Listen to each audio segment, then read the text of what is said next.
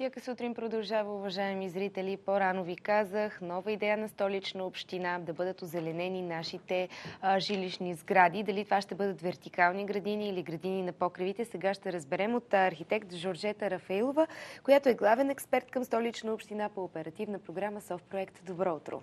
Здравейте! Добро утро и на зрителите!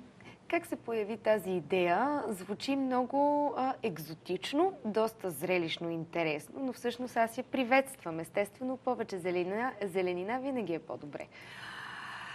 Идеята не е чак толкова нова, но за сметка на това пък технологиите се променят. Има много нови технологии, които позволяват това да се случи а, по много по-лесен начин, отколкото това беше преди няколко години. А, в централните... Да попитам.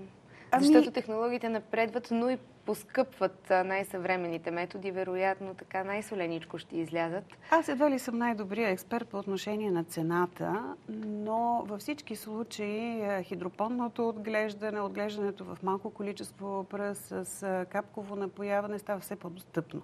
Тоест това е което се изисква за съществуването на една вертикална градина, да, да речем. вертикална или пък хоризонтална отгоре върху да. покрива.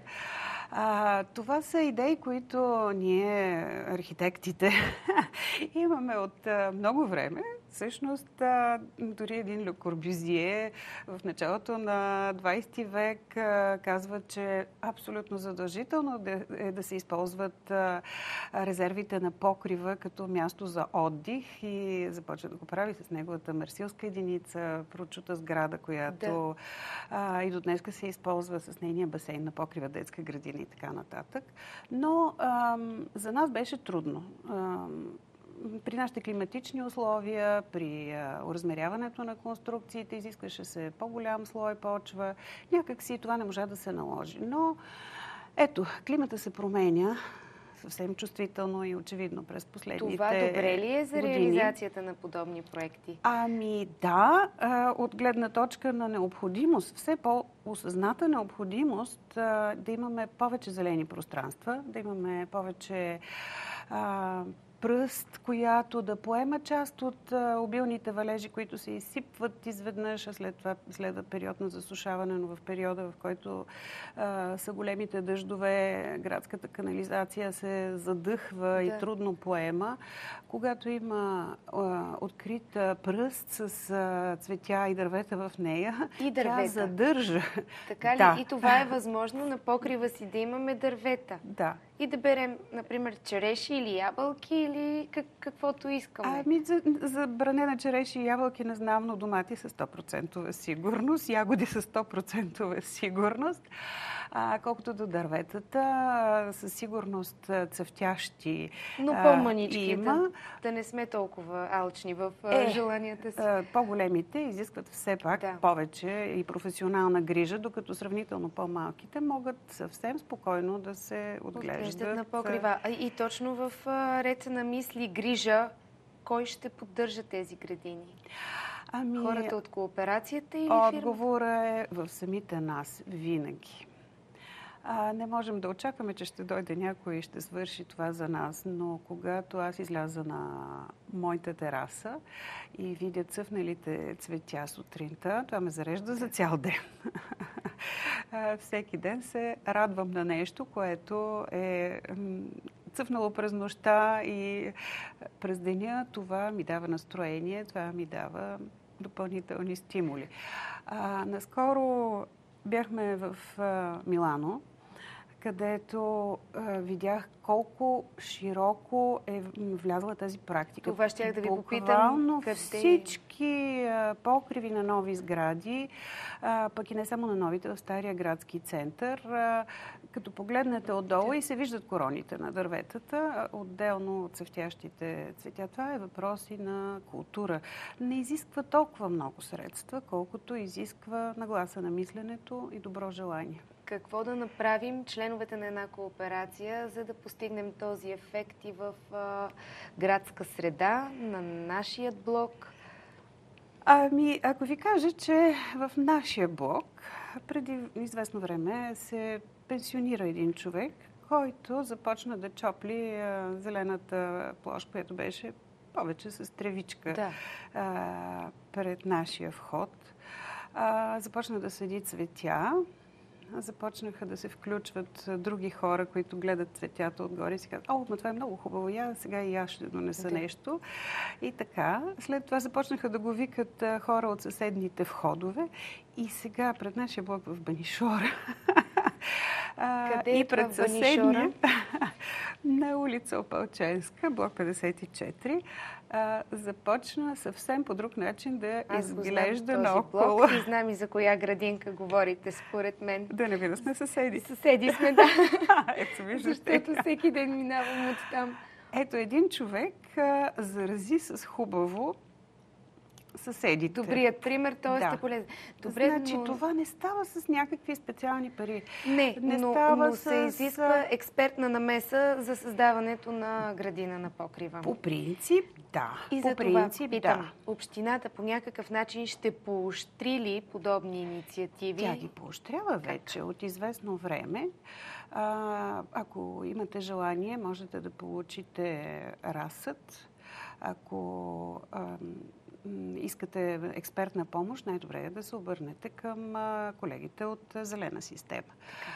А, моята роля в тази работа е по-скоро от една друга посока. Моята роля е в качеството ми на човек, който се занимава с планиране. Към общия устройствен план на град София и столична община а, ние отчетохме необходимостта от увеличаване на зеленината и в централните градски части, където очевидно поради високите цени на земята, хората, занимаващи се с строителство, трудно се съгласяват да имат поне малко незастроена да. земя.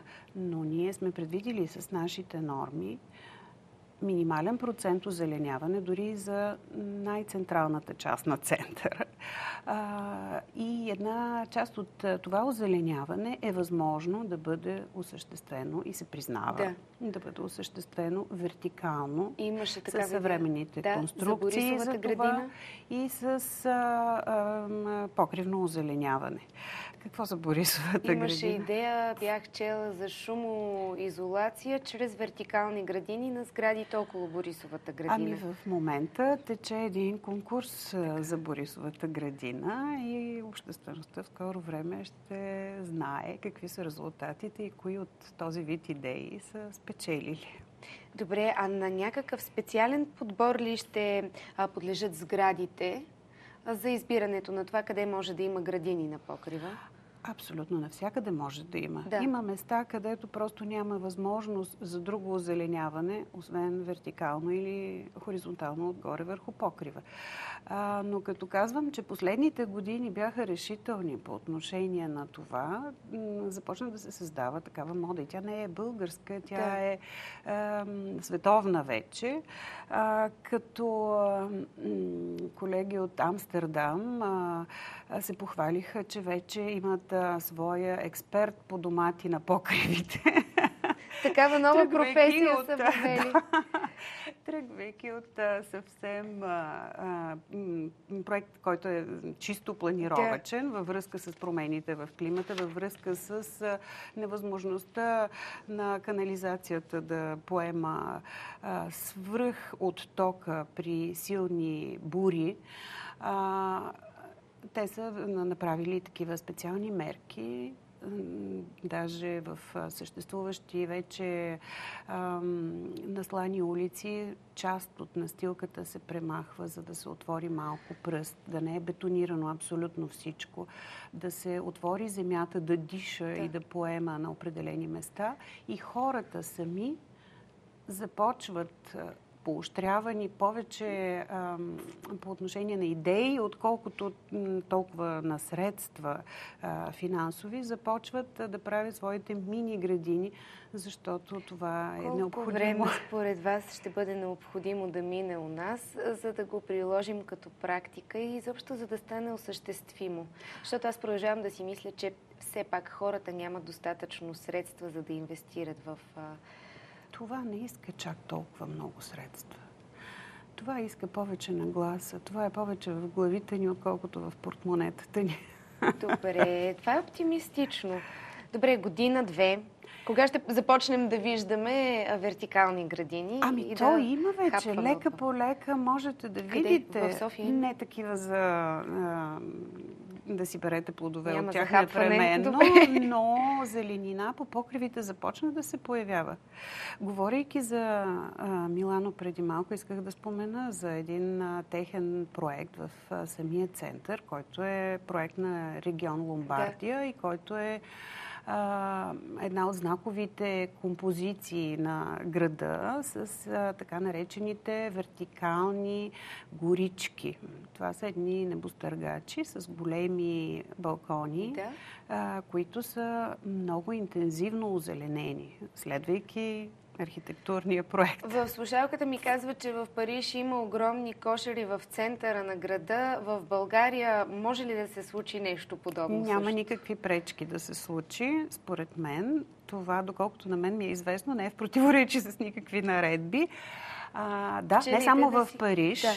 а, на много други места, и в Лондон, и в Нью Йорк, и в а, много други а, големи глобални градове. А, това започва да става все по-голяма мода, защото пчелите в града си събират прашец и мед от растения, които не са генно модифицирани Да. организми, които не са толкова пръскани с пестициди, както се случва при а, индустриалното земеделие.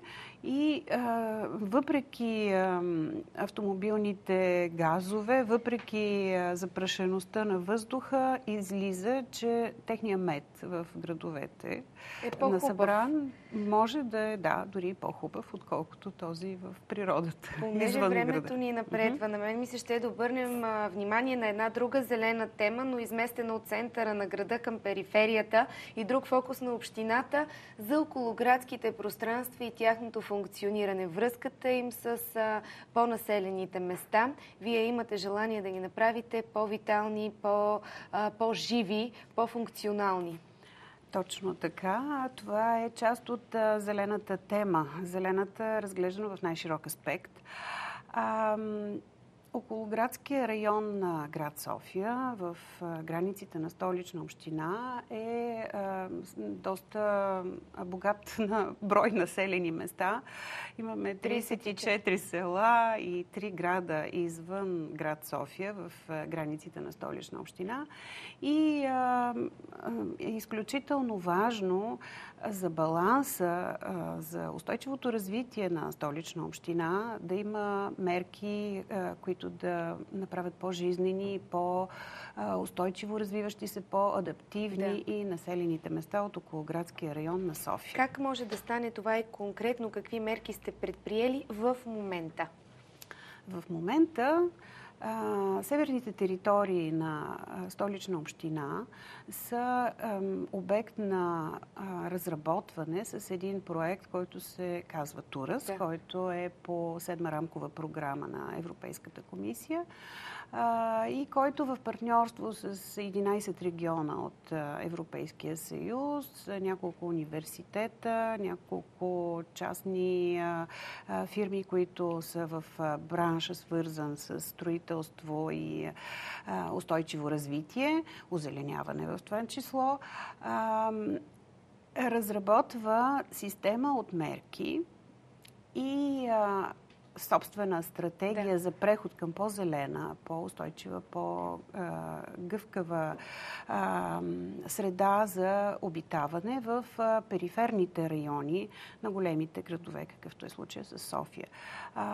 Това, което ние правим в момента е една стратегия за преход, която включва зелени мерки, така че хората а, да разберат. а, Какво ще рече зелени мерки, защото времето ни а, Да. свърши, а е хубаво да кажем. А, те са свързани с зелено строителство, свързани с, с а, повече а, м, пари от а, а, публичните фондове за развитие на инфраструктурата, така че да станат привлекателни тези малки населени места, тъй като те са основен резерв за поемане на нарастващото население на столична община. Те имат базовата си инфраструктура, като училища, детски заведения. Една част от тези училища и детски заведения дори се закриват на фона на кризата с детските заведения в град София, така че ние се опитваме да направим стратегия, с която тези населени места от около градския район да станат реалното място за, за живот на повече млади семейства пожелавам София. Ви, пожелавам ви успех в тази инициатива. Много ви благодаря за разговора и за гостуването. А с вас, уважаеми зрители, продължаваме към една друга инициатива, която е на канал 3 водещите медии в страната. Нужни сте ни живи, се казва кампанията, която започнахме в името на здравето и живота на участниците на пътя. Вчера за защита и здраве се проведе молебен в, молебен в храм паметника Свети Александър Невски. Вижте призивите на водещите медии у нас.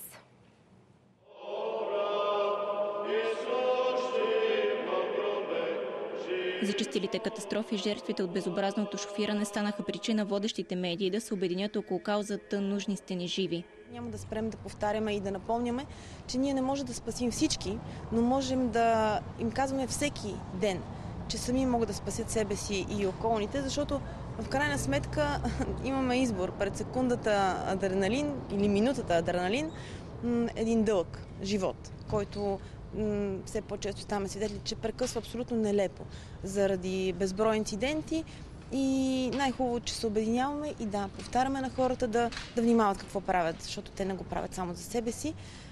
И се надяваме, че това ще бъде чуто и ще се погледне на медиите по другата призма, че всъщност да, ние ви подсещаме за добро, за да не ви показваме лошото. Според мен, каквито и промени да направим, каквито и призиви да отправим, ако ние не намерим промяната тук вътре в нас, нищо няма да се получи. Цялото общество трябва да си го постави като първостепенна задача, да се съсредоточат усилията на всички нас за предотвратяването на тези катастрофи, защото това, което се случва е истинска трагедия за мен. Да се опитаме да убедим хората, че да караш умно, за да стигнеш жив, за да не убиеш някого по пътя, да не се превърнеш неволен убиец, е много по-просто и по-лесно и всъщност спасява твоя живот, спасява иначе и друг живот. Епископ Тихон изрази своето възмущение от това, че колите са се превърнали в брошка, с която се гордем и пъчим, вместо да бъдат средство за придвижване, в което да се качваме с отговорност. Колата е отговорност, защото тя не е там 60, 70 или 100 кг, които тежи нашето тяло, тя е един тон. Движейки се с една определена скорост, придобива една енергия, която дори и шофьори след дълги години не могат да си представят. Призив бе отправен и към всички шофьори да бъдат отговорни, когато се качват на автомобила си и към пешеходците да бъдат особено внимателни по улиците. Карайте с повишено внимание, уважаеми зрители, и ви призоваваме до 24 май да запалите свещ в името на всички загинали и за здравето на участниците в пътното движение.